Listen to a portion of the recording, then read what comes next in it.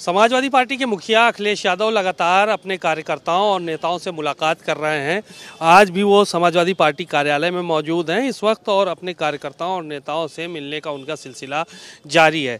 दरअसल निकाय चुनाव नज़दीक हैं और इसके अलावा तमाम पार्टी को लेकर भी रणनीति तैयार हो रही है कि किस तरह से पार्टी को आगे बढ़ाया जाए और निकाय चुनाव में किस तरह से पार्टी बेहतर परफॉर्मेंस करेगी।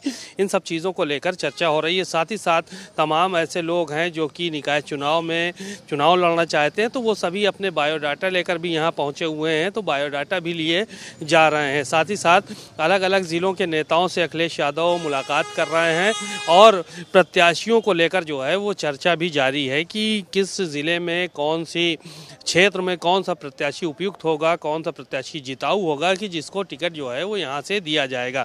बहरहाल ये सिलसिला लगातार जो है वो जारी है। बीच बीच में आ, बाहर के ज़िलों का अखिलेश यादव का दौरा भी लगता है लेकिन ज़्यादातर ऐसा मौका आता है कि वो सुबह से लेकर लगभग दोपहर के दो से ढाई बजे तक यहाँ पर बैठते हैं मंथन करते हैं और आगे की रणनीति जो है वो तैयार की जाती है।